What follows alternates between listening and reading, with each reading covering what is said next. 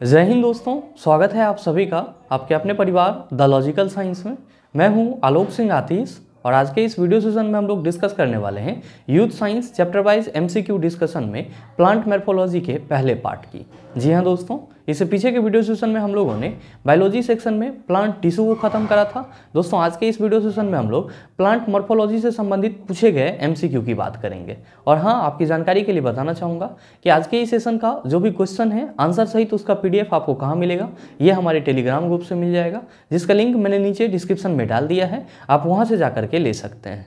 बहरहाल, आइए अपने सेशन की शुरुआत करते हैं और चलते हैं पहले क्वेश्चन की तरफ़। आपका जो पहला क्वेश्चन है, आज के इस सेशन का क्वेश्चन नंबर वन क्या पूछा जा रहा है? आपसे पूछा जा रहा है कि जड़ों की कोशिकाओं में लंबे रोमो जैसे भाग को क्या कहते हैं? ऑप्शन दिया हुआ है रूट नील्स दूसरा ऑप्शन है रूट हेयर तीसरा ऑप्शन है रूट विली चौथा ऑप्शन है रूट ट्रैकियाइट्स क्या होगा इसका आंसर आपसे क्वेश्चन करा जा रहा है कि जड़ों की कोशिकाओं में लंबे रोमो जैसा जो भाग होता है, उसको क्या बोला जाता है? ध्यान में रखिएगा, रोम जैसे भाग, यानी कि हेयर लाइक स्ट्रक्चर जो होता है, उसको क्या बोला जाता है? आप सभी कहेंगे कि गुरुजी, अभी तो हम लोग बात करने वाले थे प्लांट मॉर्फोलॉजी से संबंधित एमसीक्यू की। लेकिन यहाँ पे तो जड़ से संबंधित एमसीक्यू है। तो मेरे मित्र, आप सभी ध्यान में रखिएगा कि जहाँ भी प्लांट मॉर्फोलॉजी की बात होती है, जहाँ पे भी किसकी बात होती है? प्लांट मॉर्फोलॉजी की बात होती है। तो इसी को हम लोग हिंदी में क्या कहते हैं? पादप अकारिकी कहते हैं। क्या कहते हैं? पादप अकारिकी कहते हैं। और ध्यान में रखिएगा कि प्लांट मॉर्फोलॉजी में हम लोग किसके बारे में अध्ययन करते हैं? तो पौधे के बाह्य संरचना के बारे में अध्ययन करते हैं। तो आप सभी चाहें तो इस चीज़ को नोट भी कर सकते हैं कि प्लांट मॉर्फोलॉजी में पौधे के पौधे के बाह्य संरचना के बारे में अध्ययन किया जाता है। पौधे के बाह्य संरचना के बारे में अध्ययन किया जाता है। जब भी आपसे कोई ये पूछे कि जरा सा हमको ये बताओ कि प्लांट मॉर्फोलॉजी क्या होता है? आप कहेंगे कि जिसमें पौधे के बाह्य संरचना के बारे में अध्ययन किया जाता है, उसी को हम लोग क्या कहते हैं? प्लांट मॉर्फोलॉजी कहते हैं। आप सभी के मन में चल रहा होगा कि गुरुजी, ये पौधे का बाह्य संरचना कौन कौन सा होता है? तो ध्यान में रखिएगा कि जब हम पौधे के बाह्य संरचना की बात करते हैं, इसके अंतर्गत आपका जड़ आ जाता है, तना आ जाता है, साथ में पत्ती आ जाता है, फल आ जाता है और क्या आ जाता है? तो गुरुजी, फूल आ जाता है। तो हमेशा ध्यान में रखिएगा कि प्लांट मोर्फोलॉजी के अंतर्गत हम लोग जड़, तना, पत्ती, फल, फूल, इन सभी के बारे में अध्ययन करते हैं। बहरहाल क्वेश्चन क्या पूछा जा रहा है? क्वेश्चन पूछा जा रहा है कि जड़ों की कोशिकाओं में लंबे रोमो जैसे भाग को क्या कहते हैं? मेरे मित्र, आप सभी कहेंगे कि गुरुजी, ये बताओ कि ये रूट क्या होता है? तो मेरे मित्र, ध्यान में रखिएगा कि किसी भी प्लांट का दो मेन पार्ट होता है। एक वो पार्ट जो ज़मीन के अंदर रहता है और जो प्लांट का पार्ट ज़मीन के अंदर रहता है, उसको हम लोग रूट बोलते हैं और प्लांट का वो पार्ट जो ज़मीन से ऊपर रहता है, उसको हम लोग सूट कहते हैं। क्या कहते हैं? सूट कहते हैं। साथ ही ध्यान में रखेंगे कि जो आपका रूट होता है, ये होते हैं दो प्रकार के। कितने प्रकार के होते हैं? दो प्रकार के। एक होता है आपका रेसेदार एक होता है आपका रेसेदार जड़ और दूसरा होता है आपका मूसल जड़। ध्यान में रखेंगे हमेशा कि रूट कितने टाइप के होते हैं? दो प्रकार के होते हैं। कौन कौन सा? एक होता है रेसेदार जर एक होता है मुसल जर रेसेदार जर को हम लोग इंग्लिश में क्या कहते हैं? तो गुरुजी इसी को हम लोग इंग्लिश में फाइबरस रूट कहते हैं। क्या कहते हैं? फाइबरस रूट कहते हैं। और मुसल जर को हम लोग इंग्लिश में क्या कहते हैं? तो गुरुजी इसी को हम लोग इंग्लिश में टेप रूट कहते हैं। ध्यान में रखिएगा कि जो आपका रेसेदार जड़ होता है ये कैसा होता है? तो गुरुजी झिल्ली जैसा होता है। कैसा होता है? झिल्ली जैसा होता है। जो धान के पेड़ का जड़ होता है, वो कैसा होता है? तो गुरु जी झिल्ली जैसा होता है। इसीलिए आप कह सकते हैं कि धान के पेड़ का जो जड़ है, वो किस प्रकार का जड़ है? तो गुरु जी वो रेसेदार जड़ है, यानी कि फाइबरस रूट है। और साथ ही ध्यान में रखिएगा कि जो आपका मूसल जड़ होता है, टेप रूट होता है, ये कैसा होता है? तो गुरु जी मूसल जैसा होता है, यानी कि ये पूरे सॉलिड इस टाइप से आपको दिखेगा। ध्यान में रखिएगा कि जो आपका मूसल जड़ होता है, इसके अलग अलग पार्ट होते हैं। जैसे, मान लीजिए कि ये अगर आपका कोई रूट है, और ये रूट का क्या है? मेन पार्ट है। तो यहाँ से भी अगर कोई एक ऐसा रूट निकल जाए, इधर से भी कोई आपका ऐसा रूट निकल जाए, फिर इससे भी कोई इस तरह से रूट निकल जाए, और फिर इससे भी निकल जाए, या फिर इससे भी निकल जाए, इससे भी निकल जाए, और यहाँ पे क्या हो तो हेयर लाइक छोटा छोटा स्ट्रक्चर हो, यानी कि सॉफ्ट स्ट्रक्चर जो आपको बाल जैसा दिखे तो ध्यान में रखिएगा कि इन सभी को हम लोग किस नाम से जानते हैं? तो हम सभी कहते हैं कि गुरुजी, ये वाला जो पोर्शन है, ये क्या कहलाता है? तो गुरुजी, ये वाला पोर्शन रूट टीप कहलाता है। क्या कहलाता है? रूट टीप कहलाता है। और ध्यान में रखिएगा कि जो रूट का ये वाला पोर्शन है ये वाला पोर्शन आप देख रहे हैं, इसको क्या बोलते हैं? इसको हम लोग रूट कैप बोलते हैं। क्या बोलते हैं? रूट कैप बोलते हैं। और ये जो रूट के ऊपर में आप छोटा छोटा हेयर जैसा संरचना देखते हैं, इसी को क्या बोला जाता है? तो गुरुजी, इसी को रूट का मूल रोम बोला जाता है। और इसको हम लोग क्या बोलते हैं? तो रूट हेयर बोलते हैं। क्या बोलते हैं इसको? रूट हेयर बोलते हैं। और साथ ही ध्यान में रखिएगा कि ये जो आपका इस रूट के मेन पार्ट से एक अलग सा रूट निकल गया है। इसको हम लोग क्या बोलते हैं? तो इसको हम लोग लेटरल रूट बोलते हैं। क्या बोलते हैं? लेटरल रूट बोलते हैं। और ये वाला क्या कहलाता है जो मेन पार्ट है? तो गुरुजी, ये प्राइमरी रूट कहलाता है। क्या कहलाता है? प्राइमरी रूट कहलाता है। और साथ ही ध्यान में रखिएगा कि आपके इस लेटरल रूट से जो भी अलग अलग आपका ये रूट जैसी संरचना निकल रही है, इसको क्या बोला जाता है? तो गुरुजी लेटरल रूट से जो अलग रूट की संरचना निकलती है, इसको टर्सियरी रूट बोला जाता है। क्या बोला जाता है? टर्सियरी रूट बोला जाता है। तो कोई भी जो आपका टेप रूट होता है, उसका संरचना कुछ इसी तरह से होता है। एक उसमें क्या होता है? प्राइमरी रूट फिर उससे जो ब्रांचेज निकलते हैं, उसको लेटरल रूट बोला जाता है और लेटरल रूट से जो ब्रांचेज निकलते हैं, उसको क्या बोला जाता है? तो गुरुजी, उसको टर्सियरी रूट बोला जाता है और इस प्राइमरी रूट में जो आपको हेयर जैसा संरचना दिखता है, इसको क्या बोला जाता है? रूट हेयर बोला जाता है। और साथ ही रूट का जो आपका नीचे वाला भाग होता है, उसको रूट टिप और ये जो लास्ट वाला पार्ट होता है, इसको क्या बोला जाता है? तो गुरुजी रूट कैप बोला जाता है। आपसे क्वेश्चन क्या पूछा जा रहा है? क्वेश्चन पूछा जा रहा है कि जड़ों की कोशिकाओं में लंबे रोमो जैसे भाग को क्या कहते हैं? जरा सा आप ये बताओ कि यहाँ पे जो जर का कोशिका आपको दिख रहा है, इसमें जो ये लंबा लंबा हेयर जैसा स्ट्रक्चर दिखेगा, आप इसको क्या कहेंगे? आप कहेंगे कि गुरु इसी को तो हम लोग रूट हेयर कहेंगे। क्या कहेंगे? रूट हेयर कहेंगे। तो आपके इस क्वेश्चन का सही आंसर क्या होगा?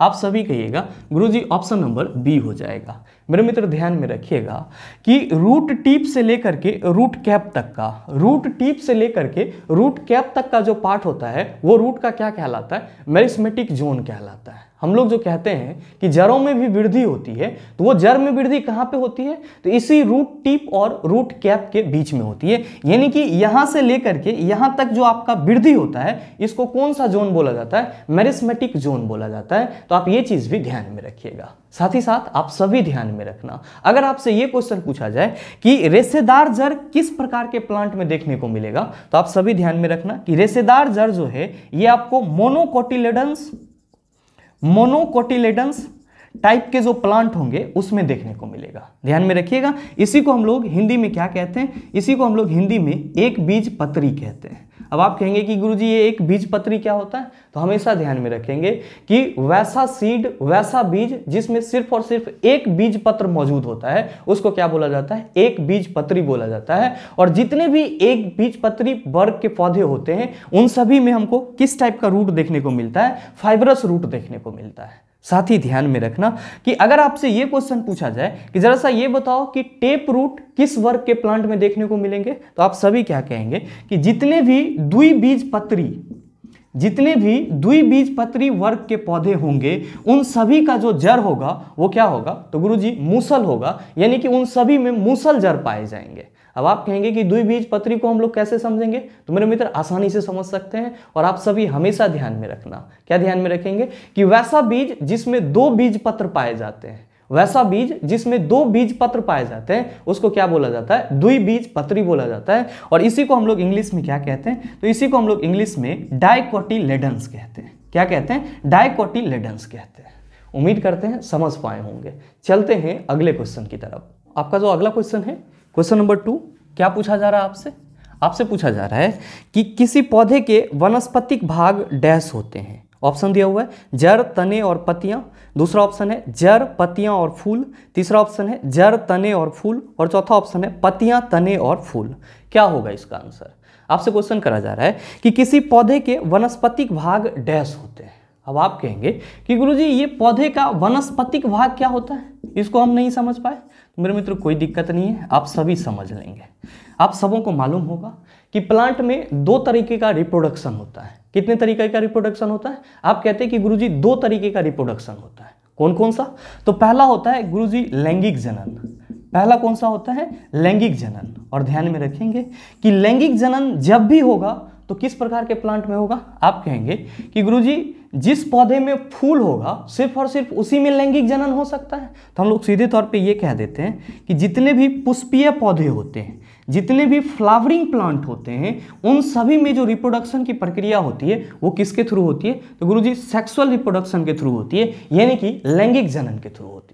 और प्लांट में आपका दूसरे प्रकार का कौन सा रिप्रोडक्शन होता है? तो गुरुजी, दूसरे प्रकार का रिप्रोडक्शन होता है अलैंगिक जनन। दूसरे प्रकार का कौन सा होता है?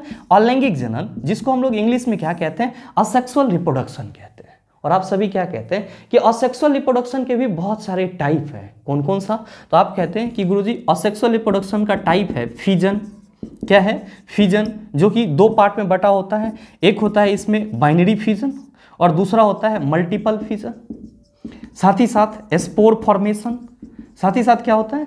स्पोर फॉर्मेशन होता है। और क्या कहते हैं? तो गुरुजी और इसमें होता है बर्डिंग और क्या होता है? बर्डिंग होता है। और साथ ही साथ क्या होता है? तो गुरुजी इसमें वेजिटेटिव प्रोपेगेशन भी होता है। क्या होता है? वेजिटेटिव प्रोपेगेशन भी होता है। यानी कि कुल मिला के आप ये कहते हो कि गुरुजी प्लांट में जो असेक्सुअल रिप्रोडक्शन की प्रोसेस होती है, वो कई तरीकों से होती है और कई अलग अलग प्रोसेस से होती है। जिसमें हमारा प्रोसेस कौन कौन सा है? तो फ्यूजन है, जो कि हमारा बाइनरी फ्यूजन और मल्टीपल फ्यूजन के रूप में होता है। दूसरा हमारा स्पोर फॉर्मेशन है। तीसरा हमारा बर्डिंग है। चौथा हमारा वेजिटेटिव प्रोपेगेशन है। मेरे मित्र ध्यान में रखिएगा कि जब हम लोग वेजिटेटिव प्रोपेगेशन की बात करते हैं तो आप सभी क्या कहते हैं? आप सभी कहते हैं कि गुरुजी, इसमें वनस्पतिक प्रचार के थ्रू क्या होता है? पौधे जनन करते हैं। क्या करते हैं? वनस्पतिक प्रचार के थ्रू पौधे जनन की प्रक्रिया को पूरा करते हैं, यानी कि कंप्लीट करते हैं। मेरे मित्र, आप सभी क्या कहेंगे कि गुरुजी, जब पौधे के वनस्पतिक भाग के थ्रू जनन की प्रक्रिया होगी तो उसको हम लोग वेजिटेटिव प्रोपेगेशन कहेंगे। आप कहेंगे, कैसे?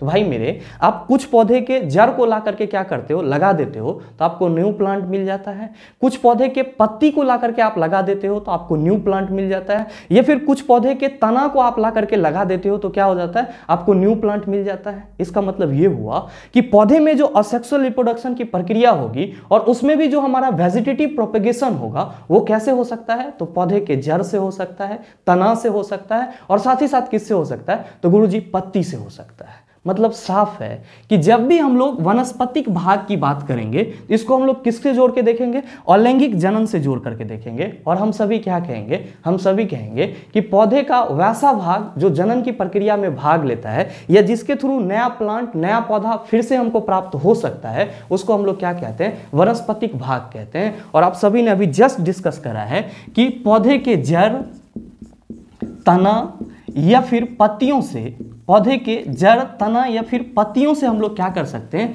तो नया पौधा प्राप्त कर सकते हैं। और ये जो जड़, तना, पत्तियों से नया पौधा प्राप्त करने की प्रक्रिया होगी, वो पौधे का असेक्सुअल रिप्रोडक्शन का कौन सा टाइप होगा? आप कहेंगे वेजिटेटिव प्रोपेगेशन होगा।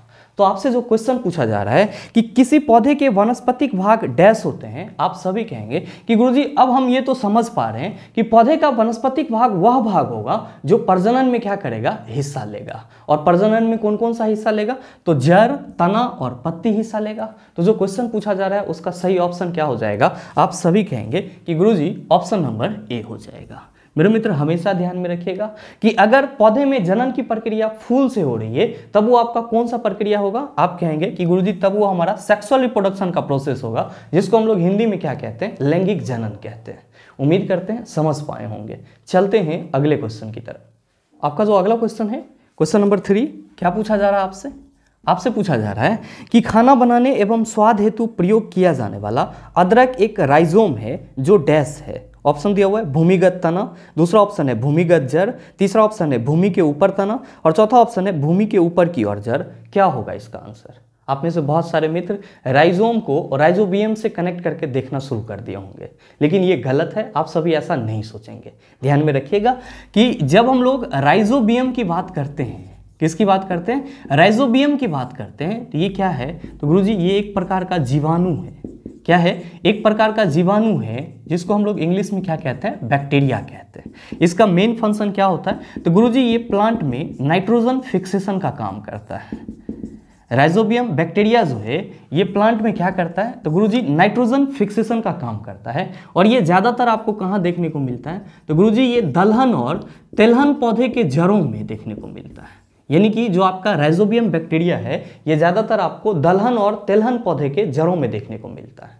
और इसको हम लोग क्या कहते हैं? राइजोबियम बैक्टीरिया लेकिन आपके क्वेश्चन में जो बात की जा रही है, वो क्या है? तो गुरुजी, वो राइजोम है। क्या है? राइजोम और इसका प्रोनाउंसिएशन कुछ इस तरह से होता है। अब सभी के मन में चल रहा होगा कि गुरुजी, ये बताओ कि ये क्या होता है?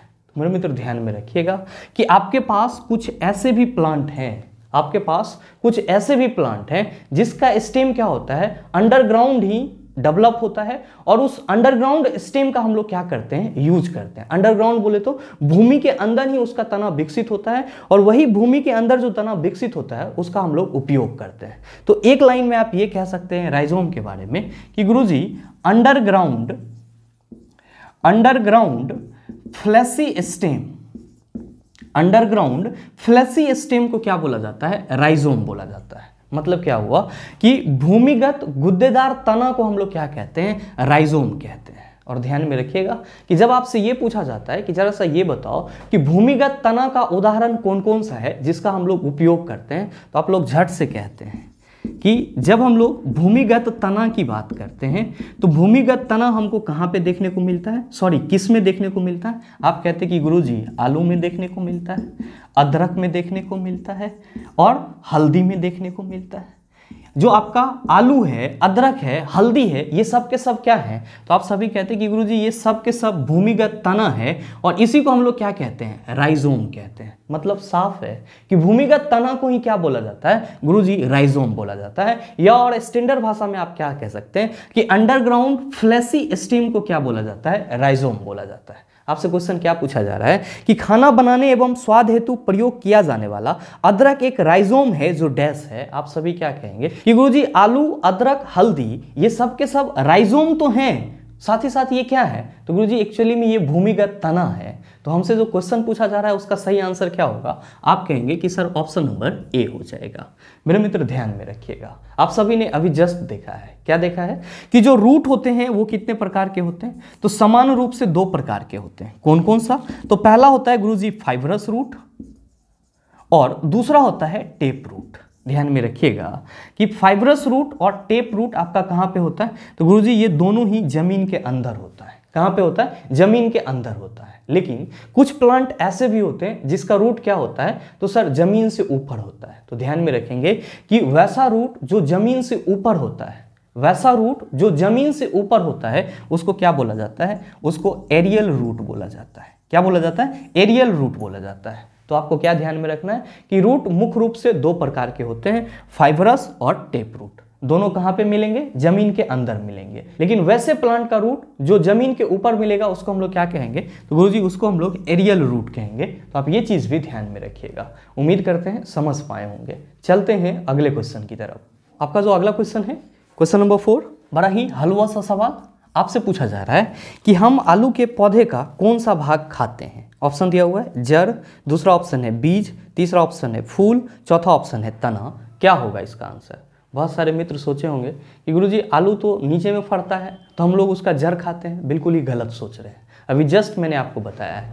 जब भी बात की जाए, अदरक की, आलू की, हल्दी की, ये सभी के सभी क्या है? भूमिगत तना है, और इसी भूमिगत तना का हम लोग क्या करते हैं? यूज़ करते हैं।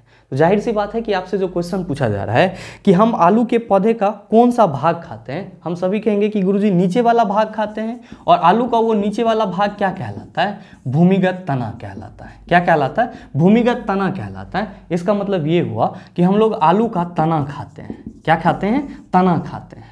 तो आपके इस क्वेश्चन का सही आंसर क्या हो जाएगा? आप सभी कहेंगे, सर ऑप्शन नंबर डी हो जाएगा। साथ ही आप सभी ध्यान में रखेंगे कि आलू आपका क्या है? तो आप कहेंगे कि गुरुजी, पिछले क्वेश्चन के कंसेप्ट के आधार पर हम ये कह सकते हैं कि आलू हमारा एक राइजोम है। या फिर हम ये भी कह सकते हैं कि गुरुजी, जितने भी भूमिगत तना वाले पेड़ पौधे हैं, वे सब के सब क्या कहलाएँगे? राइजोम कहलाएँगे। यहाँ पे आलू से संबंधित दो महत्वपूर्ण बातें आप सभी ध्यान में रखिएगा। अगर आप कंपटीशन एग्ज़ाम देने जा रहे हैं तो। पहला चीज़ क्या ध्यान में रखेंगे कि आलू का सर्वाधिक उत्पादन, आलू का सर्वाधिक उत्पादन किस देश में किया जाता है? तो आप याद रखना, चीन में किया जाता है। कहाँ पे किया जाता है? चीन में किया जाता है। और अगर आपसे क्वेश्चन ये पूछा जाए कि आलू का सर्वाधिक उत्पादन दूसरे स्थान पे किस देश में किया जाता है, या आप कह सकते हैं कि आलू के उत्पादन में, आलू के उत्पादन में दूसरे स्थान पर आपका कौन सा देश है? तो जो हम लोगों का प्यारा सा भारत है, वो क्या है? तो आलू के उत्पादन में दूसरे स्थान पे है। और अगर आपसे ये क्वेश्चन पूछा जाए कि आलू में किस प्रकार का विटामिन पाया जाता है तो आप सभी ध्यान में रखना कि आलू में विटामिन सी और विटामिन बी कॉम्प्लेक्स पाया जाता है। विटामिन सी और विटामिन बी कॉम्प्लेक्स पाया जाता है। आप सभी इतना बात ध्यान में रखेंगे। क्या कि आलू जो हम लोग खाते हैं, वो क्या है? एक भूमिगत तना है, जिसको हम लोग राइजोम भी बोल सकते हैं। आलू का सर्वाधिक उत्पादन किस देश में होता है? आप कहेंगे चीन में होता है। और आलू उत्पादित करने में दूसरे स्थान पर कौन सा देश है? तो हमारा देश भारत है। और साथ ही साथ ध्यान में रखेंगे कि आलू में किस प्रकार की विटामिन पाई जाती है? तो गुरु विटामिन सी और विटामिन बी कॉम्प्लेक्स पाया जाता है। उम्मीद करते हैं, समझ पाए होंगे। चलते हैं अगले क्वेश्चन की तरफ़।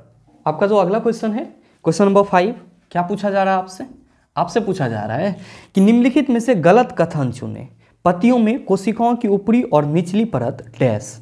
ऑप्शन दिया हुआ है, आंतरिक भागों की रक्षा करती है। दूसरा ऑप्शन है, पानी की मात्रा को नियंत्रित करती है। तीसरा ऑप्शन है, भोजन का संश्लेषण करती है। और चौथा ऑप्शन है, गैसों का आदान प्रदान करती है। क्या होगा इसका आंसर आपसे क्वेश्चन करा जा रहा है कि इन चारों ऑप्शन में से कौन सा गलत है? किसके संबंध में? तो पतियों के ऊपरी और निचली कोशिका परत के संबंध में। आपको यह बताना है कि दिए गए चार ऑप्शन में से कौन सा गलत है? आप कहेंगे कि सर ये बताओ कि पत्तियों का ऊपरी और निचली कोशिका परत क्या होता है? तो मेरे मित्र ध्यान दीजिएगा कि जब हम लोग लीफ की बात करते हैं तो हम सभी क्या कहते हैं? कि गुरुजी, अगर थोड़ा देर के लिए हम लोग ये मान लें कि ये हमारा कोई लीफ है तो ये वाला पोर्शन क्या कहलाएगा? आप कहेंगे कि गुरुजी, इसी को हम लोग मिड रीव कहते हैं। क्या कहते हैं? मिड रीव कहते हैं। और ये वाला पोर्सन क्या कहलाता है? आप कहते हैं कि गुरुजी, इसको वेन बोला जाता है। ध्यान दीजिएगा। ये ऊपर वाला लेयर क्या होगा? आप कहेंगे, गुरुजी, ये पत्तियों का ऊपरी हिस्सा होगा। और इसका नीचे वाला लेयर क्या होगा? आप कहेंगे कि, गुरुजी, ये पत्तियों का निचला स्तर हो जाएगा, यानी कि नीचे वाला हिस्सा हो जाएगा।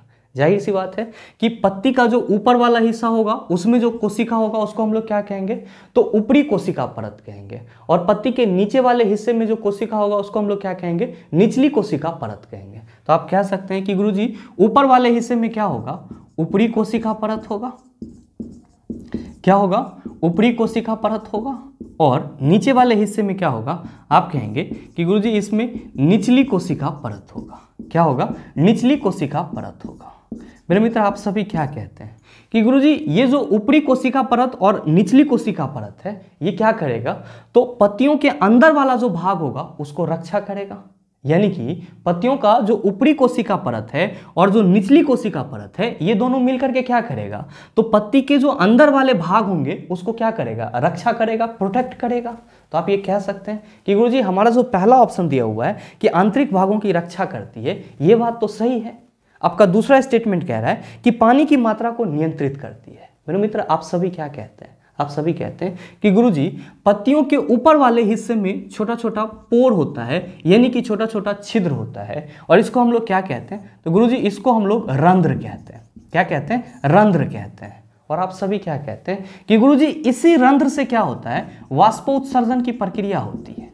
क्या होती है? वाष्पोत्सर्जन की प्रक्रिया होती है, जिसको हम लोग इंग्लिश में क्या कहते हैं? तो गुरुजी, इसी को हम लोग इंग्लिश में ट्रांसपीरेशन कहते हैं। क्या कहते हैं? ट्रांसपीरेशन कहते हैं। आप कहेंगे कि गुरुजी, ये ट्रांसपीरेशन क्या होता? है सर ये कुछ नहीं होता है। बड़ा ही सिंपल सा चीज़ है। पौधे अपने शरीर के टेम्परेचर को बैलेंस करने के लिए समय समय पर क्या करती है? अपने बॉडी से पानी का निष्कासन करती है। और पौधे के द्वारा समय समय पे अपने शरीर के द्वारा पत्तियों के रंध्र से पानी का निष्कासन करना ही क्या कहलाता है? वाष्पोत्सर्जन, यानी कि ट्रांसपीरेशन कहलाता है। और साथ ही आप ये भी कह सकते हो कि गुरुजी, वाष्पोत्सर्जन की प्रक्रिया के थ्रू पौधे के शरीर में क्या होता है? जल का नियंत्रण भी होता है। तो आपका जो दूसरा स्टेटमेंट है कि पानी की मात्रा को नियंत्रित करती है, आप कहेंगे कि गुरुजी, जब आप कह रहे हो कि पत्ती के ऊपरी हिस्से में रंध्र होता है और जहाँ से वाष्पोत्सर्जन की प्रक्रिया होती है तो ज़ाहिर सी बात है कि वाष्पोत्सर्जन की प्रक्रिया पौधे अपने शरीर के तापमान को संतुलित करने के लिए करती है और साथ ही साथ अपने बॉडी में उपस्थित जल की मात्रा को नियंत्रित करने के लिए करती है। तो कहीं ना कहीं ये स्टेटमेंट भी क्या है सर हमारा सही है और ये चीज़ भी कहाँ से होगा? तो गुरुजी, पत्तियों के ऊपरी परत के कोशिका के द्वारा ही होगा। साथ ही आप कहेंगे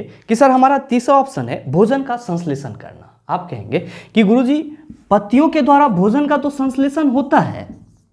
पत्तियों के द्वारा भोजन का संश्लेषण तो होता है, लेकिन ये भोजन का जो संश्लेषण होता है, ये कहाँ पे होता है? तो गुरुजी, ये पर्णहरित, यानी कि क्लोरोफिल के माध्यम से। पर्णहरित के माध्यम से पत्तियों के अंदर होता है। कहाँ पे होता है?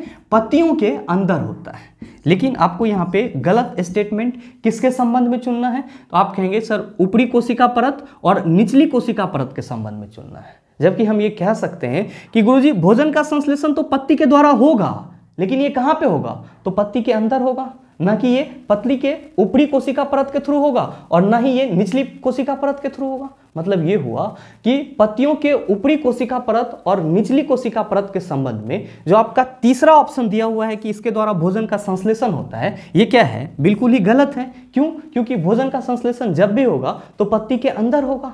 तो आपको तो आपके इस क्वेश्चन का आंसर मिल गया। साथ ही आप में से बहुत सारे मित्र सोच रहे होंगे कि गुरुजी, हमारा चौथा ऑप्शन क्या है? तो आपका चौथा ऑप्शन है गैसों का आदान प्रदान करना। मेरे मित्र, ध्यान में रखेंगे, ये जो रंध्र वाष्पोत्सर्जन प्रक्रिया को संपन्न करती है, इसी के थ्रू क्या होता है? तो पत्तियों में गैसों का आदान प्रदान भी होता है। क्या होता है? गैसों का आदान प्रदान भी होता है। आप सभी क्या कहेंगे? आप सभी कहेंगे कि गुरुजी, अब हम ये बड़े आसानी से कह सकते हैं पत्तियों के ऊपरी कोशिका परत और निचली कोशिका परत के बारे में कि हमारे ऑप्शन में जो पहला ऑप्शन दिया हुआ है कि आंतरिक भागों की रक्षा करती है, बिल्कुल ही सही है। जो दूसरा ऑप्शन दिया हुआ है, पानी की मात्रा को नियंत्रित करती है, बिल्कुल ही सही है। और जो चौथा ऑप्शन दिया हुआ है, गैसों का आदान प्रदान करती है, ये भी बिल्कुल सही है। जबकि हमारा गलत कौन सा है? तो भोजन का संश्लेषण करना। तो आप बताइए, सही ऑप्शन क्या हो जाएगा? आप सभी कहेंगे कि गुरु ऑप्शन नंबर सी हो जाएगा। उम्मीद करते हैं समझ पाए होंगे। चलते हैं अगले क्वेश्चन की तरफ़। आपका जो अगला क्वेश्चन है क्वेश्चन नंबर सिक्स क्या पूछा जा रहा है आपसे? आपसे पूछा जा रहा है कि पौधे का कौन सा हिस्सा गैसों के आदान प्रदान में सहयोग करता है? ऑप्शन दिया हुआ है तना दूसरा ऑप्शन है जड़, तीसरा ऑप्शन है कलियाँ, चौथा ऑप्शन है पत्तियाँ। क्या होगा इसका आंसर आप सभी कहेंगे कि गुरुजी, अभी जस्ट आपने बताया है कि जब भी पौधे में गैसों के आदान प्रदान की बात करेंगे, पौधे में गैसों के आदान प्रदान की बात करेंगे, ये किसके थ्रू होगा? तो सर, ये जो है, ये पत्तियों के पत्तियों के टिनी होल्स, जिसको हम लोग क्या बोलते हैं? रंध्र बोलते हैं, उसके थ्रू होगा। लेकिन आप सभी यहाँ पे ध्यान में रखेंगे कि पौधे में जो गैसों का आदान प्रदान होता है, लगभग पौधे के सभी भागों से होता है। पौधे में जो गैसों का आदान प्रदान होता है, वो लगभग पौधे के सभी भागों से होता है। आप सभी ध्यान में रखेंगे कि पौधे में जो गैसों का आदान प्रदान होता है, उसके लिए मुख्य तीन भाग कौन कौन से हैं? तो आपका पहला भाग है पत्तियों का रंध्र, जिसको हम लोग इंग्लिश में क्या कहते हैं? एस्टोमाटा ऑफ़ लीफ कहते हैं। ठीक है? ध्यान में रखिएगा, रंध्र को ही क्या बोला जाता है इंग्लिश में? एस्टोमाटा बोला जाता है। तो पहला आपका पत्तियों का रंध्र हो गया, दूसरा आपका तना का वातरंध्र हो गया। ध्यान में रखिएगा कि ये वातरंध्र आपको कहाँ पे देखने को मिलेगा? तो जो पेड़ पौधा आपका पुराना हो जाता है, उसके स्टेम के ऊपर में क्या होता है? तो गुरुजी, एक हार्ड लेयर आ जाता है जो आपका क्या रहता है? फटा फटा सा रहता है।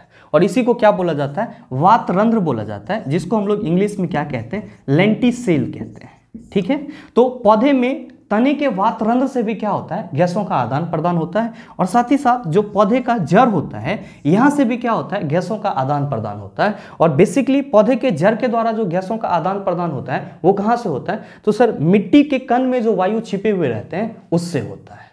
तो आप सरल शब्दों में हमेशा ध्यान में रखेंगे कि पौधे में गैसों का आदान प्रदान पत्तियों के रंध्र से होता है, तना के वातरंध्र से होता है और साथ ही साथ जड़ से भी होता है। और इन सभी में एक प्रक्रिया कॉमन होती है। वो क्या?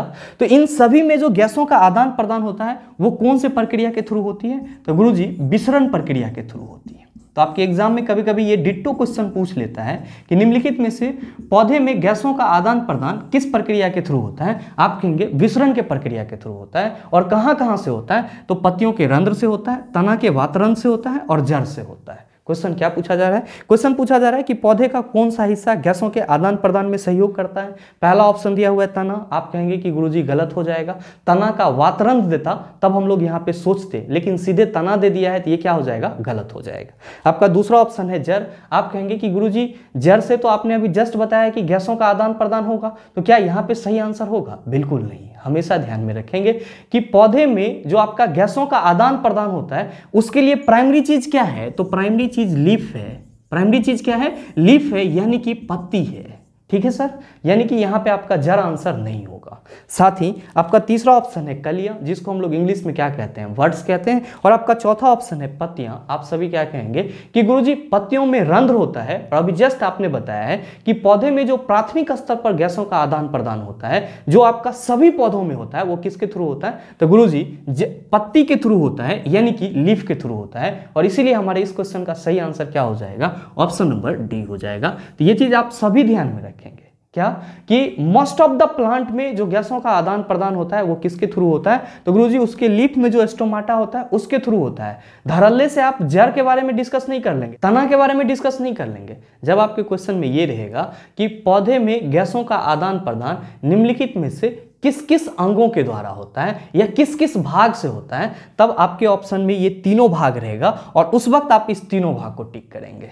और हमेशा ध्यान में रखेंगे कि जहाँ भी सिंपली आपसे क्वेश्चन पूछा जाएगा कि गैसों का आदान प्रदान किसके थ्रू होता है तो आप कहेंगे पत्ती के थ्रू। और अगर आपके ऑप्शन में पत्ती नहीं है जर दिया हुआ है, तब आप वहाँ पे क्या करेंगे? जर को टिक करेंगे। उम्मीद करते हैं समझ पाए होंगे। चलते हैं अगले क्वेश्चन की तरफ़। आपका जो अगला क्वेश्चन है, क्वेश्चन नंबर सेवन, बड़ा ही हलवा सा सवाल।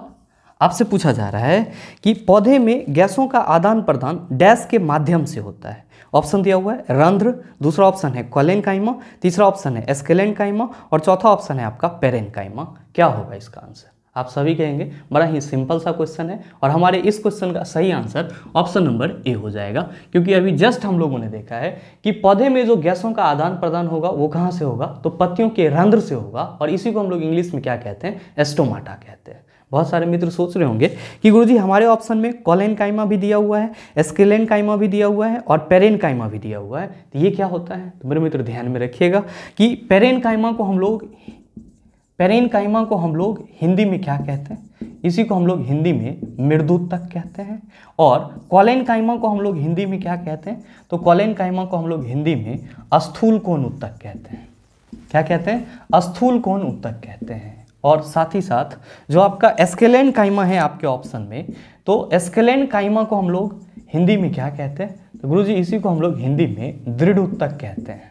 और ध्यान में रखिएगा, पेरेन काइमा, कॉलेन काइमा और एस्केलेन काइमा, ये तीनों ही क्या हैं? तो आप कहेंगे कि ये प्लांट के सिंपल परमानेंट टिश्यू हैं। प्लांट के क्या हैं? सिंपल परमानेंट टिश्यू हैं। सिंपल परमानेंट टिश्यू हैं। हिंदी में क्या कहते हैं? तो गुरुजी, इसी को हम लोग हिंदी में सरल अस्थाई उत्तक कहते हैं।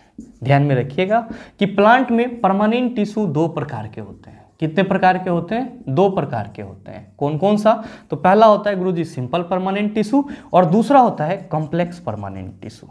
दूसरा कौन सा होता है? दूसरा होता है कॉम्प्लेक्स परमानेंट टिश्यू जिसको हम लोग हिंदी में क्या कहते हैं? जटिल अस्थाई उत्तक। और इसका एग्ज़ाम्पल कौन होता है? तो जो जाइलम है और जो फ्लोयम है, ये दोनों क्या हैं? तो कॉम्प्लेक्स परमानेंट टिश्यू है। तो आप सभी क्या कहेंगे? कि सर ऑप्शन में जो पेरेन कायमा कॉलेन कायमा और एस्केलेन कायमा दिया हुआ है, ये पौधे के सरल अस्थाई उत्तक है। उम्मीद करते हैं समझ पाए होंगे। चलते हैं अगले क्वेश्चन की तरफ़। आपका जो अगला क्वेश्चन है क्वेश्चन नंबर एट बड़ा ही आसान सा सवाल। आपसे पूछा जा रहा है कि रंध्र स्थित होते हैं। ऑप्शन दिया हुआ है लाल रक्त कोशिकाओं में, दूसरा ऑप्शन है क्लोरोफिल में, तीसरा ऑप्शन है उदर अमाशय में, चौथा ऑप्शन है पत्तों में। क्या होगा इसका आंसर मेरे मित्र, मैंने आपको इतना सारा कंसेप्ट दे दिया है कि मेरे ख्याल से इस क्वेश्चन का आंसर मुझे बताने की ज़रूरत नहीं है। और इस क्वेश्चन का आंसर आप सबों के ऊपर छोड़ता हूँ। सही आंसर क्या होगा? आप सभी नीचे कमेंट करके ज़रूर बताइएगा। आपके कमेंट का इंतज़ार रहेगा। बहरहाल चलते हैं अगले क्वेश्चन की तरफ़। आपका जो अगला क्वेश्चन है क्वेश्चन नंबर नाइन क्या पूछा जा रहा है आपसे? आपसे पूछा जा रहा है कि निम्न में से कौन बीज अंकुरन के दौरान आगामी प्रोह में विकसित होते हैं? ऑप्शन दिया हुआ है मूलांकुर, दूसरा ऑप्शन है प्रांकुर, तीसरा ऑप्शन है बीज पत्र चौथा ऑप्शन है युगमज। क्या होगा इसका आंसर? आपसे क्वेश्चन करा जा रहा है कि इन चारों में से कौन सा बीज अंकुरन के दौरान आगामी प्रोह में विकसित होता है? आगामी प्रोह बोले तो जब आपका बीज अंकुरित होता है और वो विकसित होता है तो ऊपर की जब वो बढ़ता है तो तना और फिर किसमें बदल जाता है सर? तो पत्ता में बदल जाता है। तो आपसे यही कहा जा रहा है कि निम्न में से कौन सा बीज के अंकुरन के दौरान आगामी प्रोह में विकसित होता है? आप कहेंगे, सर, ये बताओ कि बीज जब अंकुरित होता है तो वहाँ पे क्या क्या होता है? तो ध्यान में रखिएगा। थोड़ा देर के लिए मान लेते हैं कि ये हमारा क्या है? एक कोई बीज है। क्या है? एक बीज है। तो ज़ाहिर सी मतलब है कि जब इसको अनुकूलित वातावरण मिलेगा तो ये क्या होगा? तो गुरु जी ये अंकुरित होना शुरू हो जाएगा। अंकुरित होगा तो इसका कुछ पार्ट ऊपर की ओर जाएगा और कुछ पार्ट नीचे की ओर आएगा। ध्यान में रखिएगा कि जो पार्ट नीचे की ओर आएगा, वो क्या बनाएगा? तो गुरुजी, वो प्लांट के लिए, पौधे के लिए जड़ का निर्माण करेगा, यानी कि पौधे के लिए मूल का निर्माण करेगा। और यहाँ पे जो अंकुरन होगा तो अब हम ये कह सकते हैं कि ये अंकुरन चूँकि पौधे के जड़ का निर्माण करता है, इसीलिए हम लोग इसको मूलांकुर बोल सकते हैं। क्या बोल सकते हैं? मूलांकुर बोल सकते हैं। साथ ही ध्यान में रखिएगा कि ये जो बीज का ऊपर वाला पार्ट है, जब ये आगे बढ़ेगा तो पौधे के लिए किसका निर्माण करेगा? तो गुरुजी तना का निर्माण कर सकता है या फिर पत्ती का निर्माण कर सकता है। तो जब ये आगे बढ़ेगा तो इसी को हम क्या कह सकते हैं? गुरुजी, आगामी प्रोह कह सकते हैं। क्या कह सकते हैं? आगामी प्रोह। और ध्यान में रखिएगा कि ये जो आपका आगामी प्रोह में विकसित होता है, इसी को क्या बोला जाता है? इसी को प्रांकुर बोला जाता है। क्या बोला जाता है? प्रांकुर बोला जाता है। और आप सभी ध्यान में रखेंगे कि मूलांकुर को हम लोग इंग्लिश में क्या कहते हैं? इसी को हम लोग इंग्लिश में रेडिकल कहते हैं। और प्रांकुर को हम लोग इंग्लिश में क्या कहते हैं? तो प्रांकुर को हम लोग इंग्लिश में प्यूमल कहते हैं। सॉरी, प्ल्यूमल कहते हैं। क्या कहते हैं? प्ल्यूमल कहते हैं। तो आप ये चीज़ भी ध्यान में रखिएगा। आप सभी कहेंगे, सर, तब तो हमसे जो क्वेश्चन पूछा जा रहा है कि निम्न में से कौन बीज अंकुरन के दौरान आगामी प्रो में विकसित होता है? आप कह रहे हैं कि ये जो आगे बढ़ेगा, आगामी प्रो में जाकर के विकसित हो जाएगा, जो बाद में चल करके तना और पत्ती में बदल जाएगा। और आपने इसको प्रांकुर बोला तो ज़ाहिर सी बात है कि हमारे इस क्वेश्चन का सही आंसर प्रांकुर हो जाएगा। बिल्कुल सही सोच रहे हैं। और आपके इस क्वेश्चन का सही आंसर क्या हो जाएगा? ऑप्शन नंबर बी हो जाएगा। आप कहेंगे कि चलो सर, ये तो हमने समझ लिया कि मूलांकुर क्या होता है और प्रांकुर क्या होता है। लेकिन हमारे ऑप्शन में बीज पत्र दिया हुआ है। तो मेरे मित्र, ध्यान में रखिएगा कि बीज पत्र को हम लोग, बीज पत्र को हम लोग इंग्लिश में क्या कहते हैं? इसी को हम लोग इंग्लिश में कॉटिलेडन्स कहते हैं। क्या कहते हैं? कॉटिलेडन्स कहते हैं। और इसमें क्या रहता है? तो गुरुजी, बीज के विकसित होने के लिए खाद्य पदार्थ संचित रहता है। इसमें क्या होता है? तो गुरु जी बीज के विकसित होने के लिए खाद्य पदार्थ संचित होता है। तो आप ये चीज़ भी ध्यान में रखिएगा।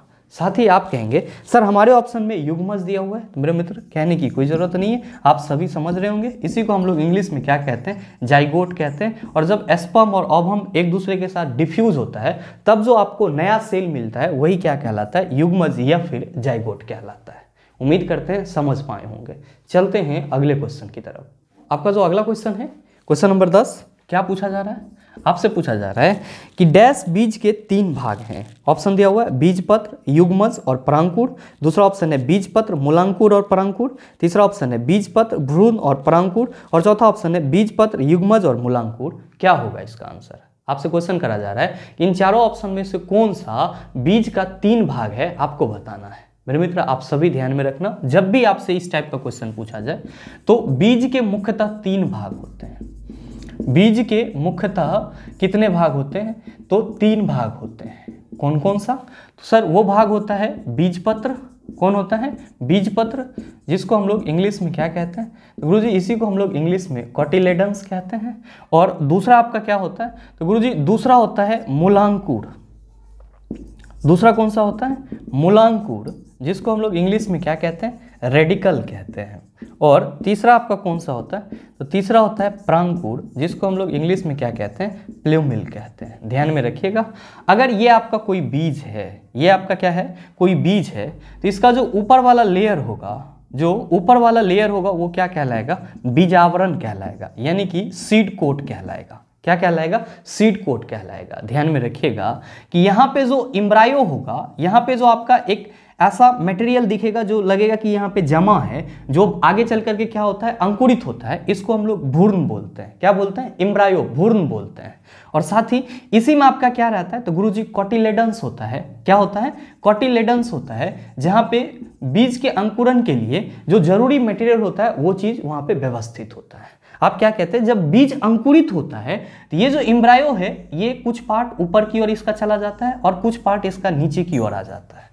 आप क्या कहेंगे कि गुरुजी, जो पार्ट नीचे की ओर आता है एक्चुअली में ये पौधे का जड़ बना रहा होता है, और इसीलिए इसको हम लोग क्या कहते हैं, मूलांकुर कहते हैं। और जो पार्ट ऊपर की ओर जाता है, वो पौधे के लिए तना और पत्ती का निर्माण कर रहा होता है, और इसीलिए हम लोग इसको क्या कहते हैं तो गुरु इसको हम लोग प्रांकुर कहते हैं। क्या कहते हैं? प्रांकुर कहते हैं।